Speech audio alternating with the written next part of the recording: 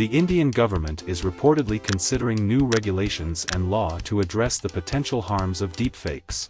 During last few weeks, social media platforms including Twitter has seen barrage of deepfake videos of several Indian celebrities as well as general public, causing grave concern among the people that deepfake videos could be used to spread information and ruin the reputation of people. However, there is still no clarity what regulatory measures is the Indian government planning but it is expected to start a public discourse over this matter. Other countries are also planning to crack down against deepfake videos.